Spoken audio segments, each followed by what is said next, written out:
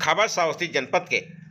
आदिवासी थारू जनजाति बाहुल्य गाँव भचकाही से है, जहाँ पर परंपरागत तरीके से पूजा के लिए की जा रही तैयारी। आपको बता दें, यहाँ पर दशहरा का उत्साह जोरों पर है, जिसको लेकर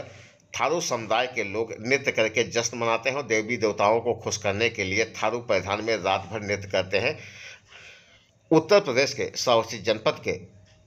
इंडो नेपाल बॉर्डर की ये तस्वीरें हैं जहाँ पर थारू समुदाय के द्वारा विशेष प्रकार की पूजा अर्चना